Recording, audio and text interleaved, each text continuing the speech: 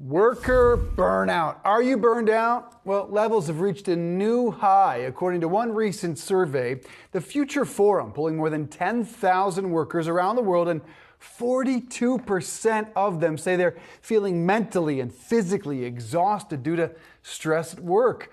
According to the Future Forum, though, women are experiencing burnout far more than men 46% compared to 37%.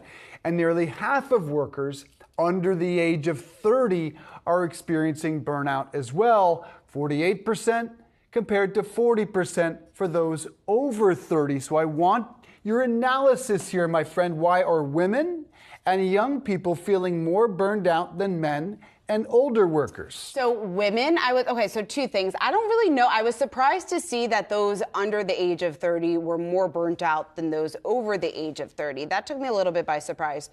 Women, I think from personal experience, you have a lot going on. If you have kids, you have you, you feel like you're constantly running around mm. on this circle of life. I think a lot of that probably plays in to their day-to-day work, me personally speaking, and I do think you do become a little overwhelmed. I don't know if that is the case for women out there. Certainly not probably as a common of a case for those under 30, given the number of women that have kids at, under yeah. the age of 30. But that I think that that probably has something to do with it. I think you nailed it with women because the women I know who are working mm-hmm. are burned down in particular because the guy at home is not holding up his end of the bargain, and most of us are not. Or some are just naturally born multitaskers yeah. that want to take on those things.